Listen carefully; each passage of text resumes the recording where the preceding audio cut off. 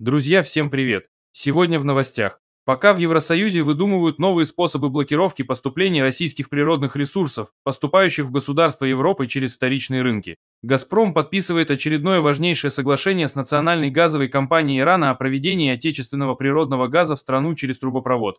Также глава «Газпрома» Алексей Миллер встретился с иранским нефтяным министром Джавадом Ауджи.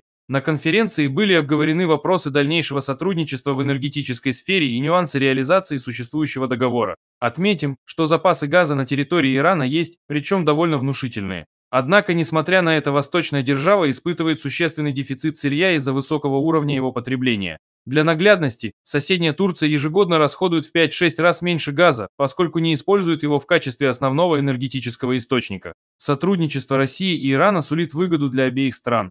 Так, российские корпорации смогут освоить новое и перспективное направление на рынке, а Тегеран получит возможность безболезненно покрыть нехватку голубого топлива в более чем 250 миллионов кубометров.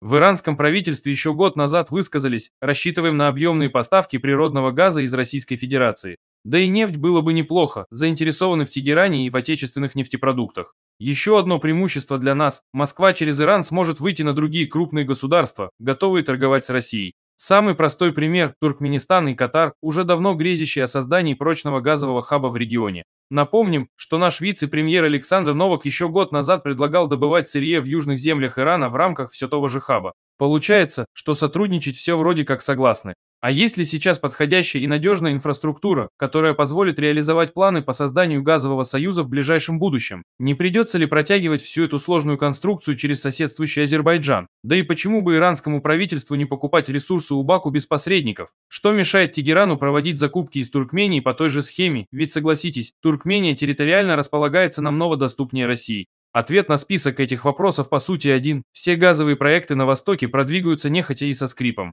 Так, даже благополучно открывшийся проект газификации между Ираном, Пакистаном и Индией функционирует достаточно вяло и требует большого количества доработок. Что уж говорить об Азербайджане, свободных мощностей в стране нет, а все те, что в скором времени дополнят уже существующие, отправятся в распоряжение Евросоюза и НАТО. Рассчитывать на техническое оснащение Туркменистана, понятное дело, тоже не приходится. К тому же, в столичном Ашхабаде к Тегерану относятся с большим опасением из-за санкционных пакетов, наложенных на Иран Соединенными Штатами. Да и в целом Туркмении нужно разбираться с целым комплектом пакетов нереализованных газовых договоренностей с Европой, Афганистаном и Пакистаном. В общем, если сотрудничество с Ираном и произойдет, то точно не в ближайшие пять лет. Про непосредственное создание хаба говорить пока рано. Проект, можно сказать, находится на стадии идей. Но что можно утверждать совершенно точно, помимо очевидной выгоды газовое соглашение принесет нам ключ к договору с Индией. В Дели неоднократно обращались к «Газпрому» за помощью в строительстве нового газопровода. Теперь же через Иран Россия сможет отправлять голубое топливо к берегам Индийского океана.